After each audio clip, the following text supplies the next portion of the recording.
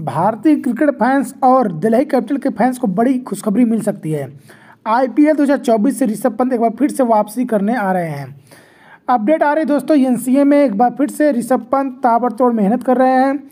ना सिर्फ़ अपने बल्लेबाजी से, बल्कि विकेट कीपिंग से भी थोड़ा सा यहाँ पर हाथ बटा रहे हैं। बड़ी अपडेट सामने निकल के आ रही है। शायद आईपीएल 2024 के बीच सीज़न से आपको ऋषभ पंत का जलवा देखने को मिल सकता है। हालाँकि अभी ऑफिशियल कोई अपडेट आया नहीं है लेकिन जिस तरह का ऋषभ पंत प्रैक्टिस कर रहे हैं 140 प्लस स्पीड के गेंदों का सामना भी कर रहे हैं तो इसका मतलब ये अनुमान लगाया जा रहा जा रहा है कि ऋषभ पंत लगभग पूरी तरह से फिट हो, हो रहे हैं और धीरे धीरे बहुत जल्दी आपको मैदान में खेलते हुए दिखाई देने वाले हैं। तो अगर आईपीएल के बीच सीज़न ऋषभ पंत आपको खेलते हुए दिखाई दे तो ज़्यादा ताजुक ना मानिएगा।